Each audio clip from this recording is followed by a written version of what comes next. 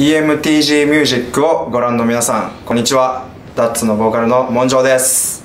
えー6月20日に、えーダッツのメジャーデビューアルバムデジタルアナログトランスレーションシステム発売します、えーこのアルバム、まあ、僕らとしても、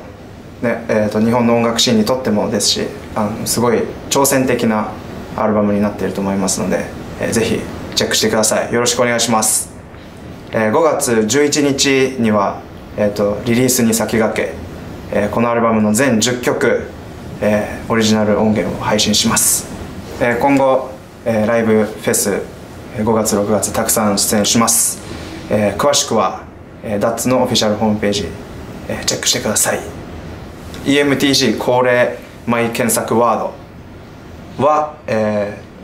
ASMR です、えーこれはなんか音が